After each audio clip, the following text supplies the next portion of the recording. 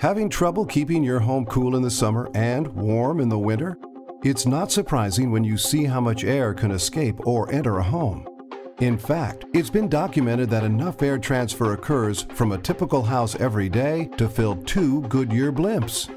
Air movement wastes energy and money, and contrary to popular belief, simply adding more R value or topping up won't deliver proportionate energy savings because R value doesn't control air leakage, which can be the biggest source of energy loss in your home. The performance of fiber insulation can be further compromised by gaps and seams around the framing where air can get in and out. R value, the numeric value given to insulation material based on its resistance to heat flow.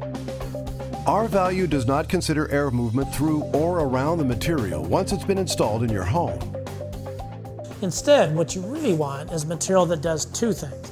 A product like Icynene spray foam insulation, which is both an insulation and an air barrier material that expands into cracks, crevices, and gaps to reduce air leaks. Here, watch this.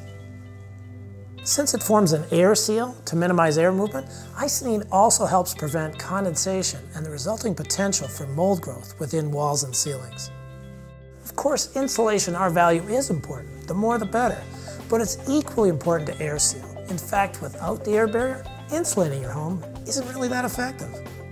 With a two-in-one insulation and air barrier product, not only can you achieve up to 50% in energy savings, you can also limit the amount of outdoor allergens and pollutants that get into your home and enjoy increased sound control because it dampens noise from home theaters, playrooms, and plumbing runs. For more information about increasing the energy efficiency of your home, visit icynene.com.